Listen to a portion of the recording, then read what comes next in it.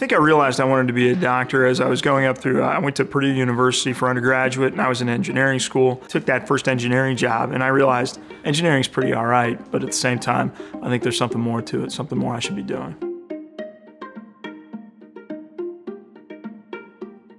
My name's Troy.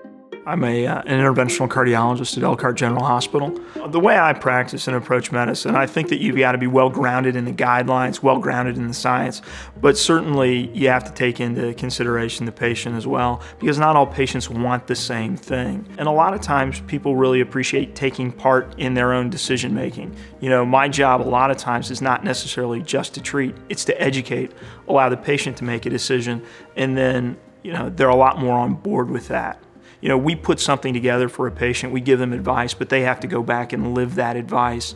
And if you give somebody a great plan and they simply can't do it, can't live with it, you have to come up with something that they can do because a great plan that isn't implemented isn't very effective.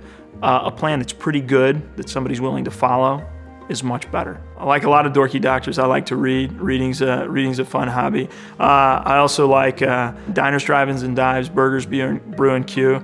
I love, I love watching other people eat the food that I won't let myself eat. Uh, one of the things that I think that people are oftentimes uh, taken back by or surprised by is the number of advanced procedures that we can offer in a place like Elkhart. Taking those skills from the uh, large academic center, bringing them back here, frankly, is, is is not as difficult task as you might think.